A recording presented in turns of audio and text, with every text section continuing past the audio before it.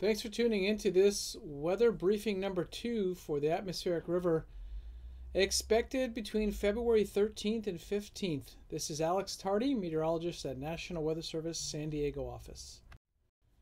All right, let's look at the latest satellite image that shows the water vapor. You can see as of Monday, there is a large area of tropical moisture south of Hawaii and starting to point northward into the Pacific as a deep low pressure area not showing up well on this map because there's not much moisture with it coming down from the north. However, the two will phase together and move towards Southern California in the next 48 hours. Now, on the traditional water vapor imagery looking over the eastern Pacific, you can see all that tropical moisture to the south with the yellow arrow, and you can see also a deep low pressure area as labeled on here with the L now, this is basically going to remain in place over the next 72 hours, and this will allow the atmospheric river or the rich tropical moisture to move towards Southern California on Wednesday. We've been wet so far this year. This is the precipitation percent of normal since October 1st, the start of the official water year. You can see 110% of normal to as much as 150% of normal with the wettest areas being the San Diego County mountains and much of Orange County into LA. Those areas up over 150% of normal or one and a half times normal rainfall. All right, uh, what do we expect this week? This is looking at the weather pattern using an ensemble of models, not one particular model. On Wednesday, the jet stream starts to focus on Southern California and upper level low pressure, creating that flow sits to our north in the Pacific Northwest. That deepens on Thursday, and that allows the flow to become stronger over our region, and that'll really focus the transport of moisture over Southern California on Thursday. Now, what happens late this week into the weekend? Well, it's not over with, but on Friday we see the jet stream focus remains over the Pacific Northwest and Northern California, and we see the jet stream weaken a little bit over Southern California. Now, as we get into the weekend, Saturday night into Sunday morning, we see colder air dropping across the Great Basin and eventually bringing a cold front through our region of Southern California, probably sometime Saturday night or Sunday morning. The atmospheric river, that's the main focus. The broad, large, warm front with strong winds and southwest flow will move in on Wednesday into central and even southern California as shown here. Now the core of it, so this means the heaviest rain looks to be uh, Wednesday night and Thursday morning, Valentine's Day, and you see those darker shades of red moving towards southern California on the right hand side. The atmospheric river isn't gone, but we do have a weak cold front that comes through on Thursday, so that focuses the moisture plume across San Diego and Riverside County and starts to push it southward Thursday night. Now it could return a little bit. It looks like there's some uncertainty, but Wednesday, uh, Thursday night into Friday looks like another return because deeper low pressure again sets up the final upper level trough sets up across the Pacific Northwest as shown here, drawing some of that moisture back over our region on Friday. Now, some of our local computer models are showing some really intense rainfall across the region as shown here. Much of this to occur Wednesday afternoon through Thursday. So basically a 24 to 36 hour period. We often ask, you know, where are the coastal slopes? And the computer models show that this is very favored pattern for coastal slope heavy rainfall. In other words, any location across the valleys will receive one to three inches, but you can times that by three to five, and the mountains will see that much more precipitation along those west facing, south facing slopes.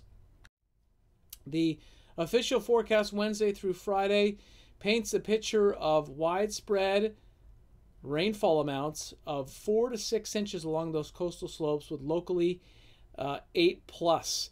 Now, along the metro areas and the valleys, widespread inch and a half to as much as three inches.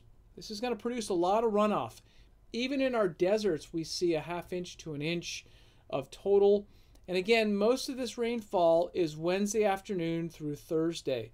You have a basically a 36 hour window of the intense rainfall. Again, Wednesday afternoon through Thursday. All right, here are some of the highlights for Wednesday and Wednesday night. Rain developing as early as the morning on Wednesday, becoming heavy at times Wednesday afternoon and Wednesday night.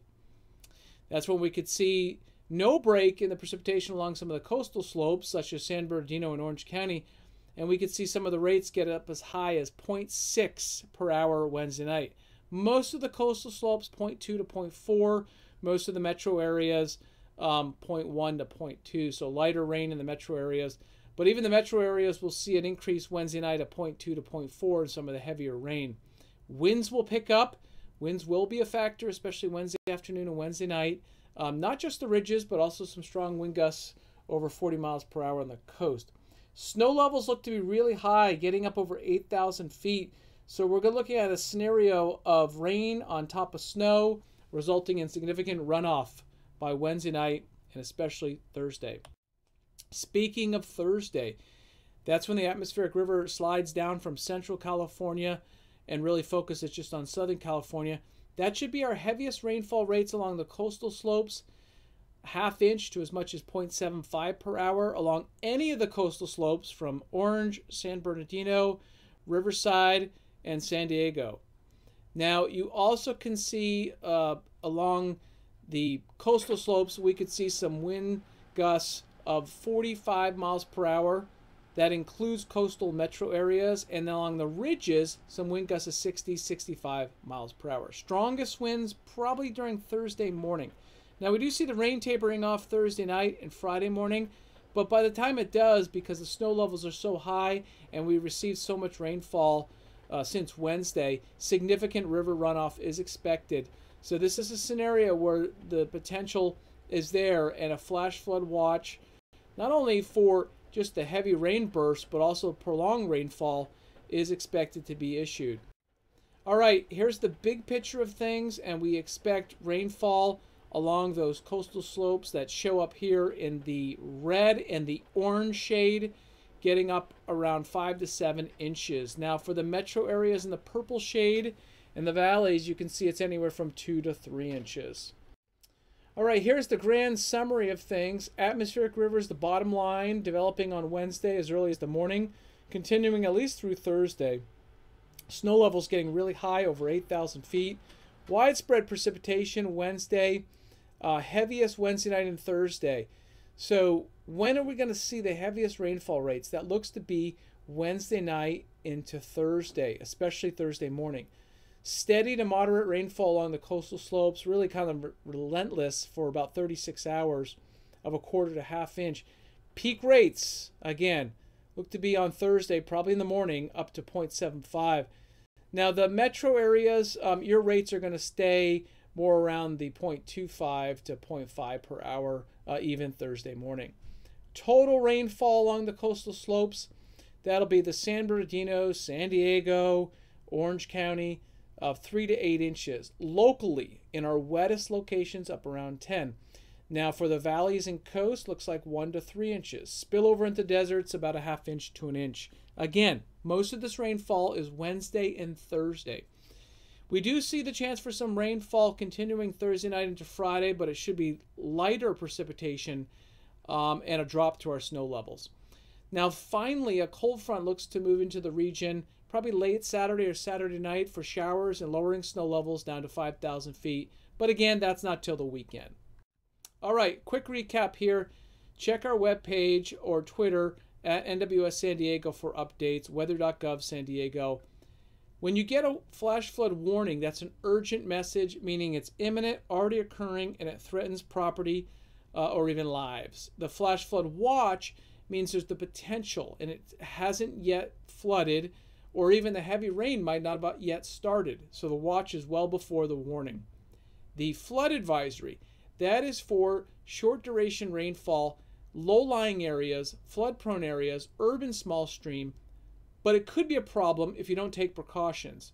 So the advisory is the lower end, but it could be a problem if you don't take precautions. I put some links on the screen here where you can monitor the rainfall, monitor the river levels, please visit those links uh, so you can get the latest information. Stay safe during this active weather pattern as it continues across Southern California for winter 2019.